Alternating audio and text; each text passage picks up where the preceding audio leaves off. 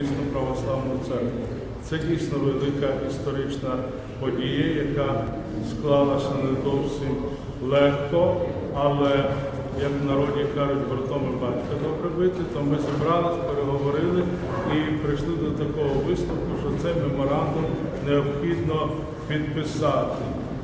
Я хотів би сказати, що Україна вже 23 роки, вже 24 рік є незалежною державою.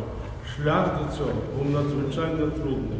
Ви знаєте, що наші козаки ще в часи середньовіччя і пізніше, і під час так званої жовтневої революції робили спробу українці створити свою помісну е, українську державу, але не було на це волі Божої. І тому ми микалися, тикалися в різних напрямках, були під керівниками різних держав, поки не було волі Божої. Ми не знаємо, чи буде з цього ще меморандуму, що ми підписали, якийсь добрий результат.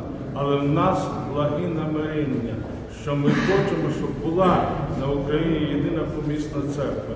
І для цього будемо відтепер прикладати свої зусилля для того, щоб ту українську помісну церкву створити на Україні. І це дуже добре, що всі представники релігійних організацій підписали і розуміють це нелегке, важливе е, завдання, яке стоїть перед нами.